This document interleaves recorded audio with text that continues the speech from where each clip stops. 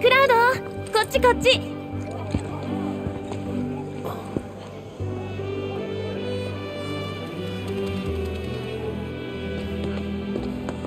それじゃあ行こっか。お。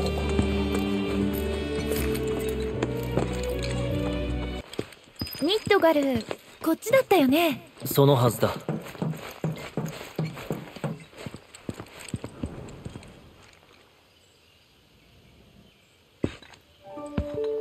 ここから見ると小さいね。距離があるからな。ねえティファと何かあった？ほら部屋同じだったから。何か言ってたか？特には何も。でもわかる幼なじみなんて羨ましい。大切にしなくちゃ。あよかった。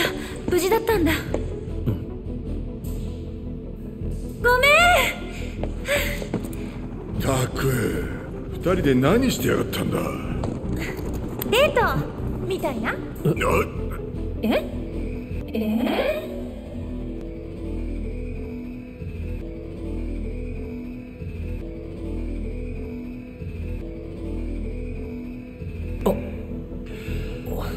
そういうのはしばらくお預けだ。